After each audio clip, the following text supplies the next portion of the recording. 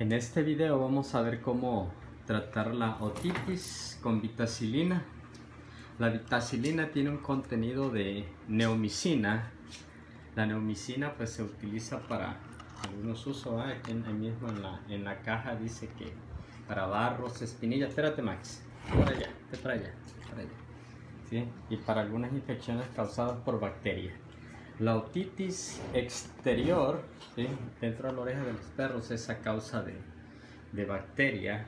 Bueno, si buscan el contenido en, en, internet se van a dar cuenta del uso de la vitacilina. Okay, bueno, entonces lo que vamos a hacer en este caso, ¿sí? Lo que vamos a hacer en este caso es, vamos a meter vitacilina adentro de, de una jeringa. Es fácil de, de hacer, ¿sí? Por la parte de atrás le quitan el, la parte de atrás de la jeringa y aquí adentro del, del tubo aquí le van a exprimir el tubito de la vitacilina no tratar de dejar por lo menos un centímetro un centímetro y medio porque si no se les va a botar bueno entonces le, le vamos a poner otra vez la tapa y este contenido lo vamos a echar adentro del oído del perro. Este tratamiento se lo hicieron una vez a, uno de mis perros en el 2010 porque tenía mucho problema de, rascarse la oreja y no había encontrado el modo de, volverlo a repetir porque no me acordaba del proceso que había hecho el, veterinario.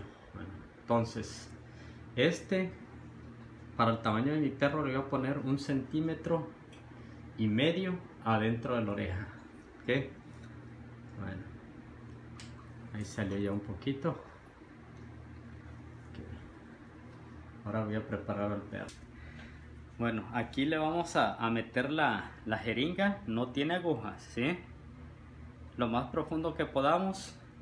Y le vamos a meter un centímetro y medio por lo menos del contenido de vitacilina y se da un pequeño masaje. Y repetimos la misma operación en la otra oreja ¿ok? ven Max. Para acá. Péstate ahí. Péstate para allá.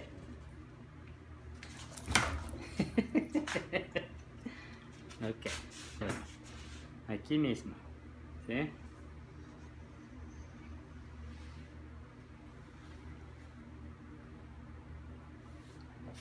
el perro se va a quedar sordo por un ratito por el contenido de la vitacilina dentro de la oreja pero con el calor del cuerpo la vitacilina se va a ir derritiendo y solita se va a ir saliendo Así es que si es necesario, pues van a tener que, andarle limpiando aquí en las orejas. Este como tiene bastante pelo, pues aquí mismo la, la recibe.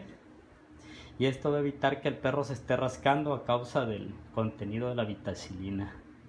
Que es emicina pura que sirve para los las infecciones bacterianas, que es lo que el problema de los perros con otitis.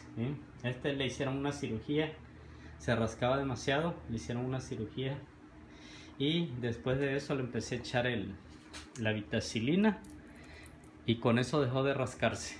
¿Qué? ¿Listo Max? ¿Listo? Ok.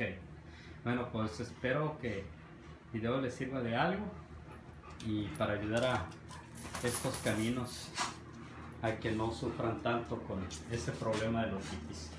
Si tienen alguna duda, pueden probar en ustedes mismos la vitacilina dentro del oído, a echarse un poco y ya luego se lo pueden retirar para que vean que no hay ninguna contradicción en el uso de la vitacilina adentro de la oreja de los perros. ¿okay? Bueno, pues espero que este video sirva de algo. Adiós.